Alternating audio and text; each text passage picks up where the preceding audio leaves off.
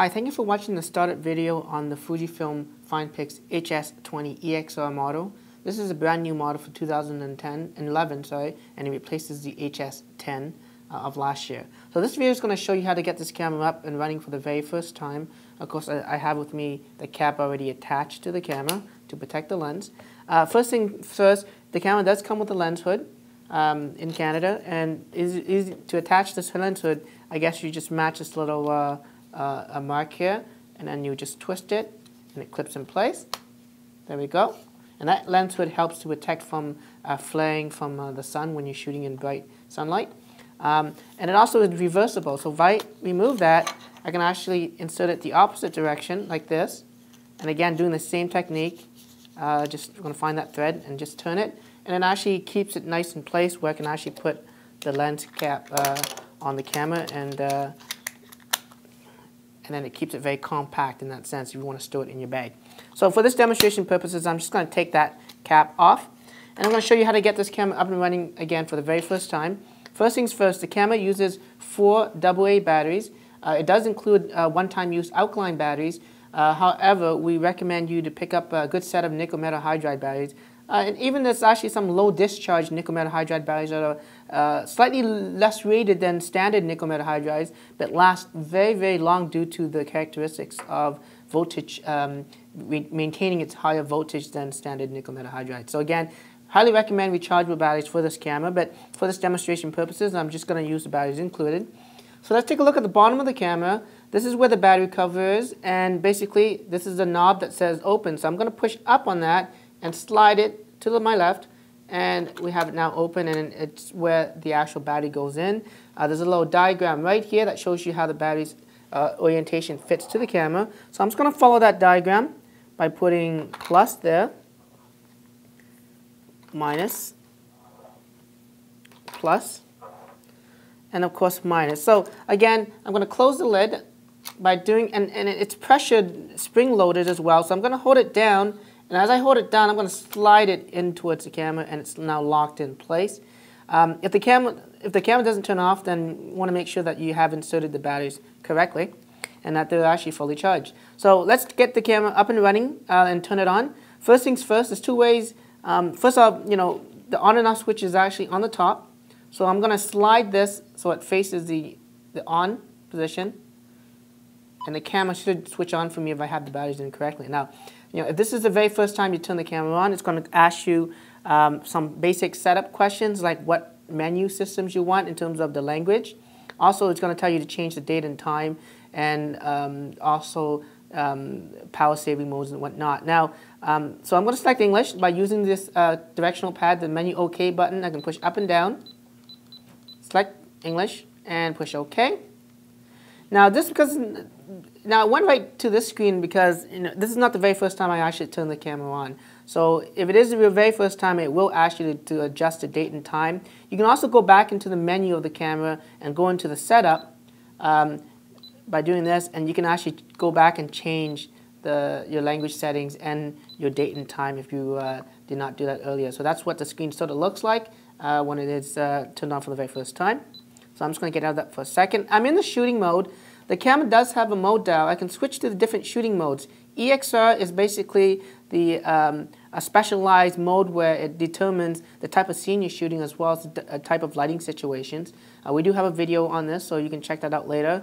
Then we have things like program auto mode, shutter priority, aperture priority, full manual control, so you can adjust both aperture and shutter. Custom modes where you can actually set custom settings and the camera will, will remember that. There's also a swing panoramic or sweep panoramic feature that allows you to sort of uh, rotate the camera and it captures um, panoramas in 360. There's a couple scene position modes. Uh, one defaults to landscape, the other defaults to portrait. But if you push the menu OK button, you can actually change that to a different type of shooting mode. Okay, then we have the advanced mode, which allows you to do things like the pro focus and also the pro low light features of this camera. Again, we do have demos on that. For this purpose, I'm just going to leave it on EXR. Um, and we'll show you how to get uh, started by taking your picture for the very first time. So of course the camera does have a shutter button.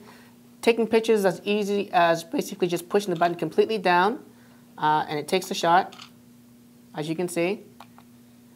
Now, ideally, when you want to take a photo, you want to use the, the half press technique, which is half pressing the shutter button down so it finds focus. And once that's done, you push the button all the way down and it takes the shot. So that helps to reduce the shutter lag between shots. So instead of just doing this, you know, you want to basically just push halfway down and, and take shots. Now, my, my memory card's full. And one thing I forgot to tell you is actually how to insert the, the memory card. So let me turn off the camera. And on the side is where the compartment is. I'm going to slide it open and it reveals the memory slot portion. Now I have here with me, of course, a standard SD card, a 2 gig standard SD card. This camera shoots 1080p video with stereo sound. So if you intended to use this camera to shoot high quality video, we highly recommend you purchase a class 6 card or higher in terms of rating. And that will allow you to properly record HD video without the camera interrupting the recording time. Now, to insert the card, uh, there's only one way to doing it. So if I put it incorrectly, the card will not go in. As you can see, no matter what I do, so don't try to jam that in. Um, basically, the back of the card, which is where the contacts are, faces the back of the camera. So I'm going to insert that in this way and push it in, and it's spring-loaded, so it stays in. Now, if I push it again in, it now ejects the card for me. So that's the proper way of inserting it and, and taking that out. Okay, so I'm going to turn the camera back on again. And I'm going to fire a bunch of shots for you, like what we did earlier. Okay, and one trick, zooming in, this actually has a manual zoom, just like some digital SLRs. Now this camera is not a digital SLR in the sense you can't remove the lens, it's fixed in.